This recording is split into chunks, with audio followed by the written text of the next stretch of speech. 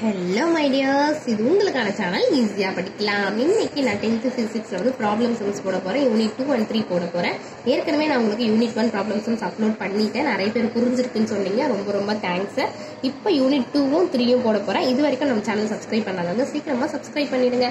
Subscribe பண்ணவங்களுக்கு ரொம்ப ரொம்ப தேங்க்ஸ் பார்க்கலாங்களா எனக்கு வந்து ஒரு ஸ்டூடெண்ட் கேட்டிருந்தாங்க. ஏன்க்கா நீங்கள் வந்து நோட்டில் எடுக்கிறீங்க?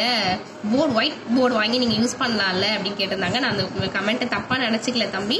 தப்பாக நினச்சிக்காதீங்கன்னு சேர்த்து சொல்லியிருந்தீங்க. தப்பாக நினச்சிக்கல.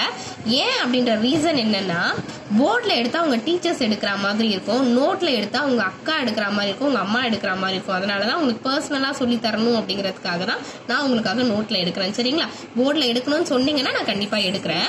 யூனிட் டூ பாருங்கள் ப்ராப்ளம் சம்ஸு எங்கே நம்ம ப்ராப்ளம் சம்ஸ் பார்க்கும்போது எப்படி பார்ப்போம்? ஃபஸ்ட்டு எங்கே நமக்கு நம்பர் இருக்குது அப்படிங்கிறத பாருங்கள் டுவெண்ட்டி சென்டிமீட்டர் ஒரு நம்பரு டென் சென்டிமீட்டர் ஒரு நம்பர் ரெண்டுத்தையும் நான் டேஷ் பண்ணிட்டேனா? இப்போ இந்த டுவெண்ட்டி சென்டிமீட்டர் என்ன என்னது? ஆப்ஜெக்ட் வந்து டுவெண்ட்டி சென்டிமீட்டர் டிஸ்டன்ஸில் வச்சுருக்குறாங்க அப்படிங்கிறது தான் அப்போ ஆப்ஜெக்ட் டிஸ்டன்ஸ் எழுதிக்கலாங்களா கிவனு ஆப்ஜெக்டோட டிஸ்டன்ஸ் என்னவா? டுவெண்ட்டி சென்டிமீட்டரில் வச்சுருக்காங்க. இது பாருங்கள் கான்வெக்ஸ் லென்ஸ் கான்வெக்ஸ் லென்ஸ்க்கு நான் உங்களுக்கு ஏற்கனவே ஒரு டீட்டெயில் போட்டிருக்கேன். அந்த டீட்டெயில் போய் பாருங்கள் கான்வெக்ஸ் லென்ஸ் வந்து நம்ம லெஃப்ட் சைடில் தான் வைப்போம்.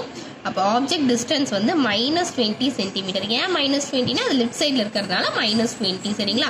ஆப்ஜெக்ட் டிஸ்டன்ஸ் வந்து நம்ம இங்கே யூன் எடுத்துக்கலாம். அதுக்கப்புறம் என்ன எடுத்துருக்காங்க? டென் சென்டிமீட்டர் டென் சென்டிமீட்டர் என்னது? ஃபோக்கல் லென்த்து ஃபோக்கல் லென்த் எவ்வளோனா டென் சென்டிமீட்டர் அது எஃப்னு வச்சுக்கலாங்களா? ஃபோக்கல் லென்த்துங்கிறதுனால அது வந்து டென் சென்டிமீட்டர் இப்போ என்ன கண்டுபிடிக்க சொல்லியிருக்காங்க? இமேஜோட டிஸ்டன்ஸும் நேச்சர் ஆஃப் த இமேஜும் என்ன அப்படிங்கிறது கண்டுபிடிக்க சொல்லியிருக்காங்க. நீங்கள் அப்படியே இதை என்னென்ன கண்டுபிடிக்கணும்? நேச்சர் இமேஜ் கண்டுபிடிக்கணும். நீங்கள் ஆர்டராக எழுதிக்கோங்க. நான் மாற்றி எழுதிட்டேன். இந்த மாதிரி நீங்கள் மாற்றி எழுதிட்டீங்க அப்படின்னா நீங்கள் அடிக்க வேண்டாம். அப்படியே அதை மேனேஜ் பண்ணி தான் எழுதணும். சரிங்களா அடிச்சிங்க அப்படின்னா அது உங்களுக்கு நெகட்டிவ் மார்க்ஸில் கூட போகும். அது மாதிரிலாம் நீங்கள் இடம் கொடுக்காதீங்க. இமேஜ் டிஸ்டன்ஸ் கண்டுபிடிக்கணும். எதையும் அடிச்சுலாம் எழுதாதீங்க. உங்கள் எக்ஸாம் பேப்பரில் எழுதுனது தப்பாக இருந்தாலும் அதை அப்படியே விட்டீங்கன்னா அவங்க கண்டுபிடிக்க மாட்டாங்க.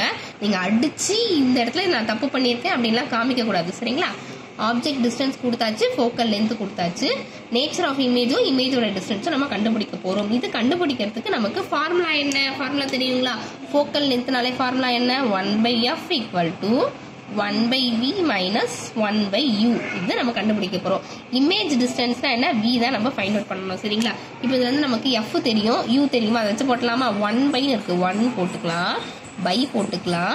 எஃப் என்ன சொல்லியிருக்காங்க டென் டென்னும் போட்டுக்கலாம். Equal to one by V நமக்கு தெரியாது. ஒன் பை வின்னு இருக்கட்டும். மைனஸ் ஒன் பை யூ என்ன கொடுத்துருக்குறாங்க நமக்கு? மைனஸ் டுவெண்ட்டி அப்படிங்கிறத இங்கே போட்டுக்கலாங்களா? பாருங்க மைனஸும் மைனஸும் ப்ளஸ்ல மைனஸும் மைனஸும் என்ன ஆகிடும் ப்ளஸ் ஆகிடுமா அப்போ one by ten equal to one by V நீங்கள் இப்படி கூட போடலாம். ப்ளஸ் ஒன் பை டுவெண்ட்டி ஏன்னா மைனஸும் மைனஸும் பக்கத்தில் இருக்கக்கூடாது. அது நம்ம ப்ளஸ்ன்னு போட்டுக்கலாங்களா? இப்போ என்ன கண்டுபிடிக்கணும்? நம்ம ஒன் பை வி தான் கண்டுபிடிக்கணும். ஸோ ஒன் பை வி இங்கேயே இருக்கட்டும். இந்த சைடில் ஒன் பை டென் இருக்குது ப்ளஸ் ஒன் டுவெண்ட்டி அந்த சைடில் வந்துச்சுன்னா ஆன்சர் என்னவாகும்? Minus one my sorry minus twenty ஆகுங்களா? ஏன் மைனஸ் டென் டுவெண்ட்டி ஆகுது? ப்ளஸ் இருக்கிறது ஈக்குவல் டுக்கு அப்புறம் வந்துச்சுன்னா அது நமக்கு மைனஸ் ஆகிடும். ஈக்குவல் டுக்கு அப்புறம் என்ன இருக்கும்? ஒன் பை வி இருக்கும். சரிங்களா? இப்போ ஒன் பை டென்னும் ஒன் பை டுவெண்ட்டியும் நம்ம எப்படி மைனஸ் பண்ணலாம்? பாருங்க. ரெண்டு மெத்தடில் இருக்குது ஒன்று கிராஸ் மல்டிப்ளையில் பண்ணிக்கலாம். இல்லைனா பாருங்கள் இது டுவெண்ட்டி இருக்குது இந்த டுவெண்ட்டி ஆக்கணும் நம்ம என்ன பண்ணணும்? இன்டூ டூ போட்டுக்கலாம். இன்டூ டூ போட்டுக்கலாமா? சேம் டினாமினேட்டர் வர வைக்கிறதுக்காக பார்க்கலாம். ரெண்டுமே சேம் டினாமினேட்டர் ஆகிடுமா இப்போ? டென் டூஸ் ஆர் டுவெண்ட்டி இது டுவெண்ட்டின் தான் இருக்குது அப்படியே விட்டுக்கலாம். அப்படி இல்லைனா நீங்கள் கிராஸ் மல்டிப்ளை பண்ணுவீங்கனாலும் பண்ணிக்கோங்க. பாருங்கள் ஒன் டூஸ் ஆர் என்ன? டூன்னு வந்துடுச்சு. மைனஸ் ஒன் ரெண்டுமே சேம் டினாமினேட்டர் அப்படிங்கிறதுனால நான் அப்படியே டேரெக்டாக போட்டேன். Two minus one equal to one by V two minus one பண்ணிங்கன்னா என்ன வரும்? நமக்கு ஆன்சர் ஒன்னு வரும். One by twenty equal to one by V அப்படிங்கிறது நமக்கு தெரிஞ்சிச்சு. நம்ம என்ன கண்டுபிடிக்கணும்? ஒன் பை வியை கண்டுபிடிக்கணும்? கிடையாது. வி தான் கண்டுபிடிக்கணும். அப்போ விக்கு நேராக என்ன இருக்குது டுவெண்ட்டி அப்போ V equal to twenty centimetre வந்து கண்டிப்பாக போட்டுருங்க. இவ்வளோ போட்டு இந்த ஆஃப் மார்க்கை விட்டுறாதீங்க. சரிங்களா? அப்புறம் என்ன கண்டுபிடிக்கணும்? நேச்சர் ஆஃப் இமேஜ் கண்டுபிடிக்கணும். நேச்சர் ஆஃப் இமேஜ் கண்டுபிடிக்கணும். அதுக்கு ஃபார்முலா என்ன? M equal to V by U உங்களுக்கு ஃபார்முலா மாதிரி தெரிஞ்சிச்சுன்னா அந்த ஃபார்முலா வந்து நீங்கள் ஒரு பாக்ஸ் போட்டுருங்க. வி நம்ம என்னன்னு கண்டுபிடிச்சிருக்கோம். டுவெண்ட்டின்னு கண்டுபிடிச்சிருக்கோம். அப்படிதானே? யூ வந்து கொஷின் என்ன கொடுத்துருக்காங்க? டுவெண்ட்டி மைனஸ் டுவெண்ட்டி ஏன்னா அது வந்து லெஃப்ட் சைடில் இருக்குது டுவெண்ட்டி டுவெண்ட்டி கேன்சல் ஆயிடுச்சுனா என்ன வரும்? நமக்கு ஆன்சர் ஒன்னு வரும். இந்த கீழே இருக்க நெகட்டிவை நீங்கள் மறந்துடக்கூடாது. மைனஸ் ஒன்னுன்னு போட போகிறோம் இப்போ நேச்சர் ஆஃப் இமேஜ் என்னன்னா இது நெகட்டிவ்ல இருக்கிறதுனால it is an inverted image இன்வெர்டட்னா என்ன? தெரியுங்களா? உங்களுக்கு நெகட்டிவ்ல இருக்கிறதால இது இன்வெர்டட் இமேஜ் அப்படிங்கிறத நம்ம இங்கே எழுதி காட்டணும் கண்டிப்பா. இப்போ என்னன்னு நமக்கு கேட்டிருக்கிறாங்க. ரெண்டு ஃபைண்ட் அவுட் பண்ண சொல்லி இமேஜோட டிஸ்டன்ஸ் கேட்டிருக்கிறாங்க. அது நீங்க லாஸ்டா எழுதிக்கலாமா? Image distance is equal to image டிஸ்டன்ஸ்னா என்ன? வி எவ்வளோன்னு கண்டுபிடிச்சோம்? டுவெண்ட்டி சென்டிமீட்டர் கடைசியாக என்னென்ன கண்டுபிடிக்க சொன்னாங்களோ அதை நீங்கள் எழுதிக்கணும். அப்புறம் நேச்சர் ஆஃப் இமேஜ் நீங்கள் மாதிரி எழுதி காட்டினீங்கன்னா உங்களுக்கு மார்க் வந்து எந்த இடத்துலையும் மைனஸ் ஆகாது. அதனால தான் நேச்சர் ஆஃப் இமேஜ் எம் எவ்வளோ எவ்வளோ மைனஸ் ஒன்று அப்படிங்கிறதுனால it is an inverted image இங்கே எழுதிக்கோங்க இன்வெர்டட் இமேஜ் அப்படிங்கிறத. செகண்ட் கொஷின் பாருங்க. அண்ட் ஆப்ஜெக்ட் இப்போ வந்துடுச்சு. இப்போ இதில் என்னென்ன கொடுத்துருக்காங்க? ஹைட்டு கொடுத்துருக்காங்க த்ரீ சென்டிமீட்டரு அதுக்கப்புறம் டென் சென்டிமீட்டர் கான்கேவ் லென்ஸுன்னு கொடுத்துருக்குறாங்க. ஆப்ஜெக்ட் வந்து அப்போ டென் சென்டிமீட்டர் ஃபோக்கல் லென்த் வந்து ஃபிஃப்டீன் சென்டிமீட்டர் கிவன் எழுதிக்கலாங்களா? மேக்ஸில் மட்டும்தான் கிவன் எழுதணும்னு கிடையாது. எல்லாத்துலேயுமே நீங்கள் கிவன் எழுதுங்க. ஹைட்டு சொல்லியிருக்காங்க. ஹைட் எவ்வளோ நமக்கு?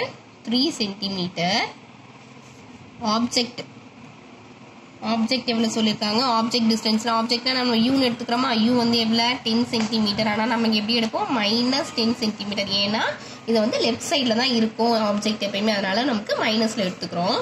ஃபோக்கல் லென்த் வந்து ஃபிஃப்டீன் சென்டிமீட்டர் ஃபோக்கல் லென்த்னா சிம்பிள் என்ன? எஃப்ஆ எஃப் எவ்வளோ ஃபிஃப்டீன் சென்டிமீட்டர் இது வந்து நம்ம மைனஸ் ஃபிஃப்டீன் எடுக்கிறோம். ஏன் மைனஸ் ஃபிஃப்டீன்னா இந்த கான்கேவ் லென்ஸ்னு சொல்லியிருக்காங்க கான்கேவ் கான்கேவ்னா நீங்கள் நெகட்டிவ் வந்து எடுத்துக்கலாம். அப்போ ஃபோக்கல் லென்த் வந்து மைனஸ் ஃபிஃப்டீன் சென்டிமீட்டர் லாஸ்ட் சம்மில் நம்ம எப்படி போட்டோம்? அதே மாதிரி தான் போட போகிறோம் ஃபார்முலா என்ன?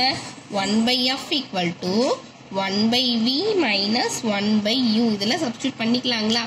இப்போ அதே மாதிரி போடலாம். நமக்கு என்னென்ன தெரியும்? இப்போ எஃப் தெரியும் யூ தெரியும் வி கண்டுபிடிக்கணுமா?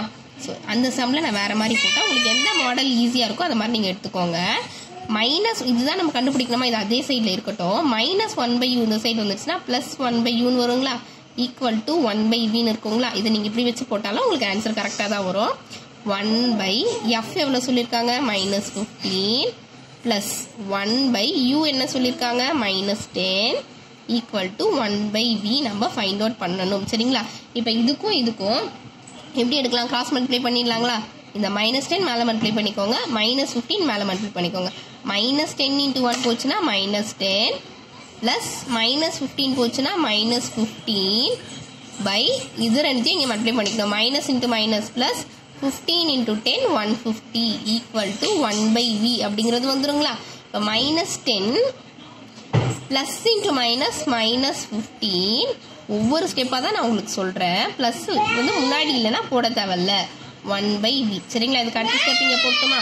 மைனஸ் டென்னோ மைனஸ் ஃபிஃப்டீனோ நமக்கு மைனஸ் டுவெண்ட்டி ஃபைவ் ஆகுங்களா? By one fifty equal to one by V இப்போ ரெண்டுமே எந்த டேபிள் இப்போ இதை கேன்சல் பண்ணலாங்களா? ரெண்டுமே ஃபைவ் டேபிளில் வருமா? Five five are twenty five three five are fifteen ஒரு ஜீரோ வருமா? திரும்பவும் ரெண்டுமே ஃபைவ் டேபிளில் வரும். One five are five six fives are thirty அப்போ ஆன்சர் என்ன வரும்? இதுக்கு மேலே நம்ம கேன்சல் பண்ண முடியாது.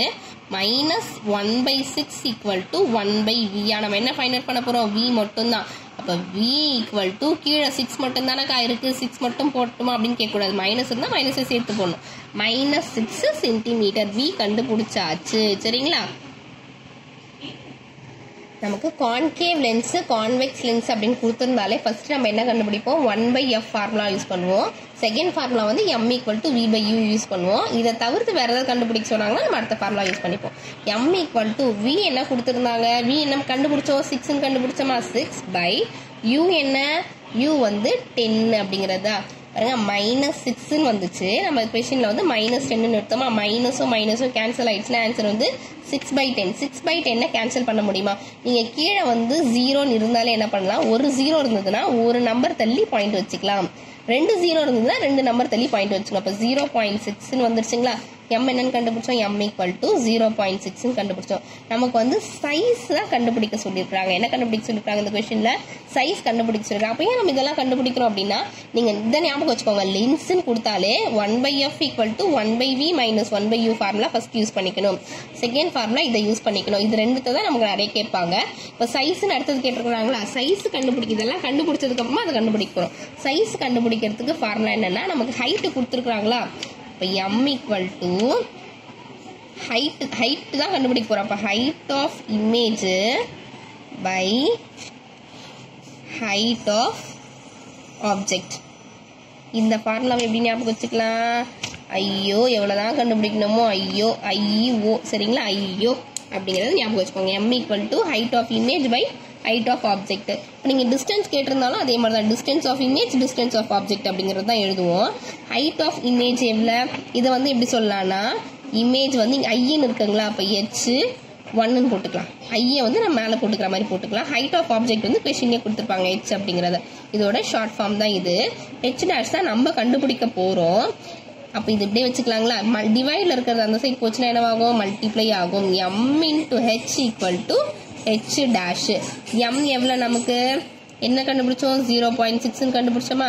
இன்டூ ஹெச் கொஷின் எவ்வளோ கொடுத்துருந்தாங்க? த்ரீன்னு கொடுத்துருந்தாங்களா? Equal to H dash zero point six into three multiply பண்ணுங்க. த்ரீ சிக்ஸ் ஆர் எயிட்டீனு வந்துருச்சுங்களா? பாயிண்ட் அப்போ வந்து ஹெச் டேஷ் வந்து one point eight H dash equal to one point eight centimetre இப்போ நீங்கள் மாத்துறீங்களே சிம்பிள் சேஞ்ச் ஆகாது அப்படின்னா ஆகாது. ஏன்னா ரெண்டுமே அட் எ டைமில் நான் சேஞ்ச் பண்ணுறதுனால சிம்பிள் சேஞ்ச் ஆகாது. ஒன்று மட்டும் மாற்றினா தான் மாறும். அப்போ சைஸ் ஆஃப் இமேஜ் என்ன? Size of image is equal to one point eight சென்டிமீட்டர்னு எழுதி ஆன்சரை முடிங்க. இந்த வீடியோவில் வந்து நான் உங்களுக்கு ரெண்டு யூனிட் ப்ராப்ளம்ஸ் போடுறேன் அப்படின்னு சொல்லியிருந்தேன். யூனிட் டூவும் யூனிட் த்ரீயும் யூனிட் டூ மட்டும் இப்போ போட்டிருக்கேன் யூனிட் த்ரீ வந்து உங்களுக்கு அடுத்த வீடியோலேயே வரும். ஸோ இந்த ரெண்டு சமம் புரிஞ்சுதா அப்படி என்னங்கிறத எனக்கு கமெண்ட் பண்ணுங்கள் ஸ்டூடெண்ட்ஸ் இது உங்களுக்கான சேனல் ஈஸியாக படிக்கலாம்.